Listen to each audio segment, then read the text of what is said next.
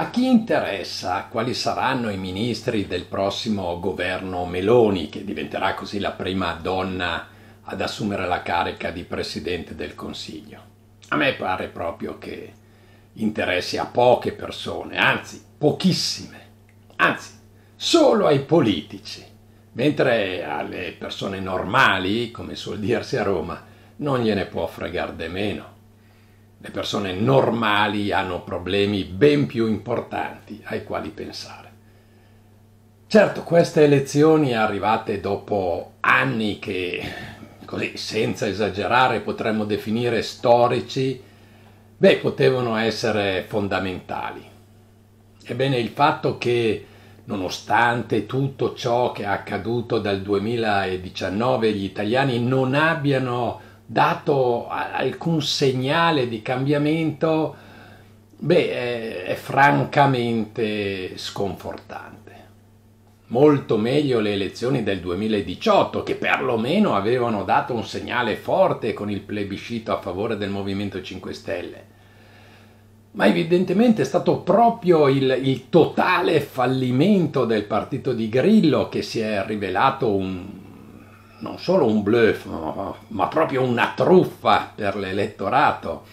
Forse è stato questo a disilludere gli italiani. Gli italiani hanno quindi così pensato che fosse inutile fare i Don Chisciotte e quindi fosse vano eh, combattere contro i mulini a vento.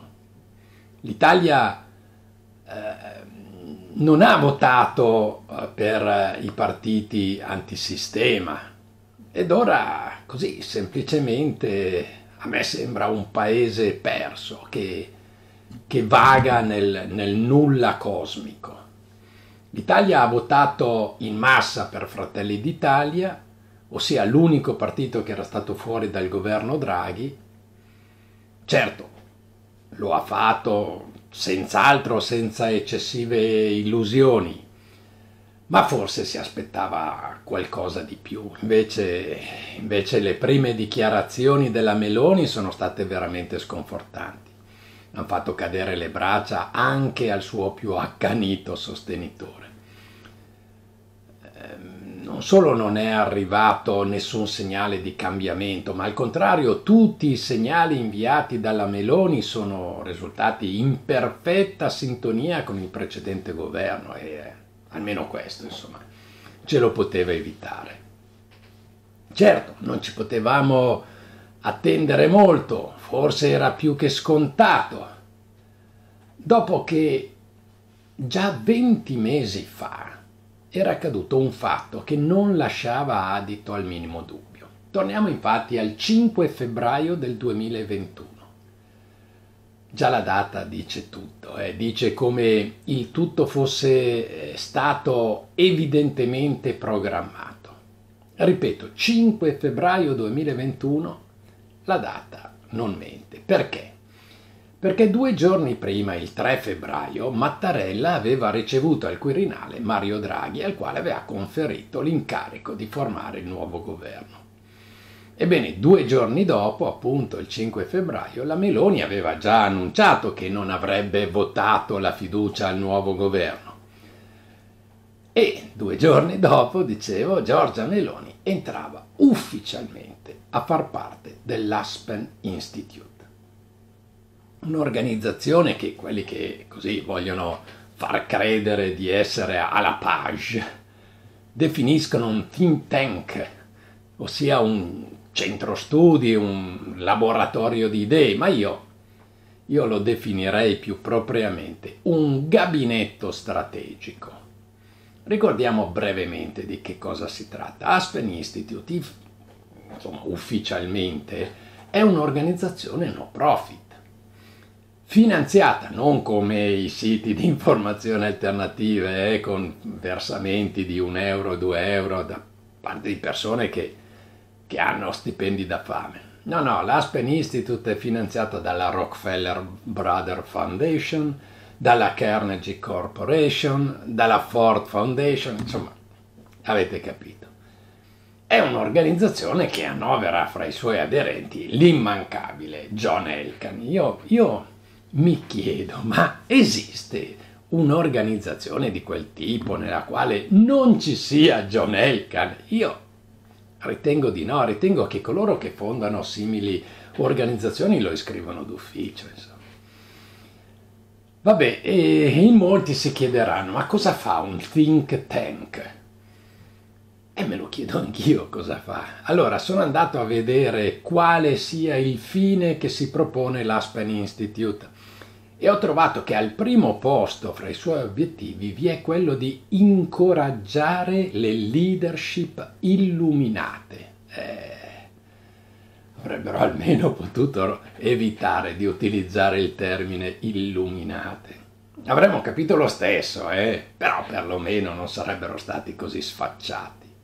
Comunque, insomma, la cosa è, è semplice. Il mainstream sapeva benissimo che il governo Draghi sarebbe rivelato un bagno di sangue per gli italiani, che avrebbero punito severamente tutti i partiti che avessero votato la fiducia al peggior governo della storia repubblicana.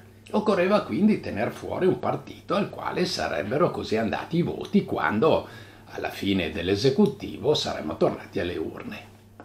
Quindi tutto programmato, nessuna sorpresa presi in giro gli italiani per l'ennesima volta.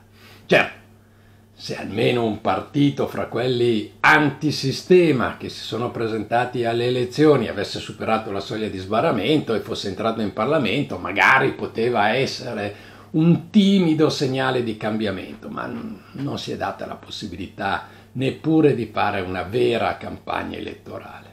E soprattutto, ripeto, gli italiani erano disillusi, e hanno così preferito non votare. Naturalmente non se ne parla, ma queste elezioni politiche hanno stabilito il record per quanto riguarda l'astensione dalle urne, ossia mai nella Repubblica, eh, nel, nell'Italia repubblicana, diciamo, per le elezioni politiche si siano recati così pochi italiani alle urne.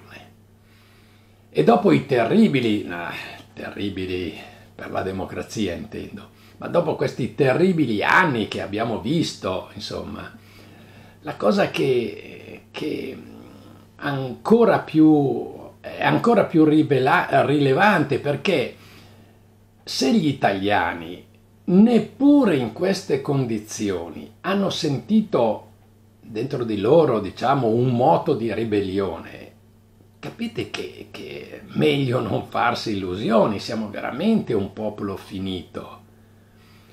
Alcuni sostengono che la scelta della Meloni poi come nuovo Premier per l'Italia non sia stata presa il 5 febbraio del 2021, ma risalga ancora a tempo prima, per la precisione a 5 mesi prima.